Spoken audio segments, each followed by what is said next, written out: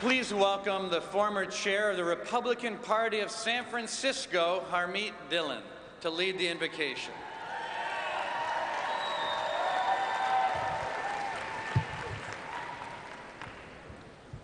Thank you, Mr. Chairman. It is an honor as a Sikh American and the Vice Chair of the California Republican Party to share a prayer from my faith tradition, Sikhism, the fifth largest religion in the world.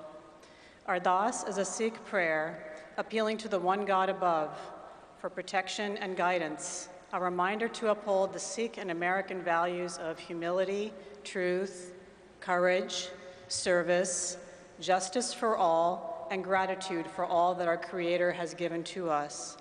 A Sikh always covers her head when offering this prayer.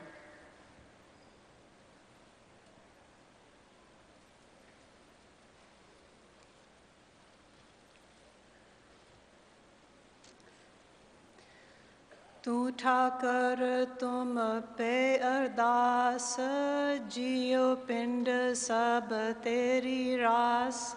तुम मात पिता हम बारक तेरे, तुमरी कृपा मैं सुख Kanere.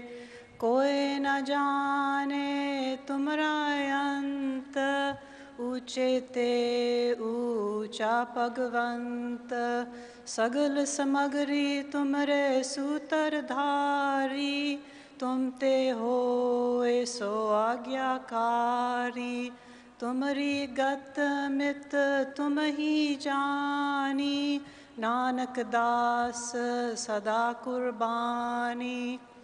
Dear Waheguru, please bless these delegates from all over this great nation you have created with the integrity to perform faithfully our sworn duty to nominate leaders to take America in the right direction.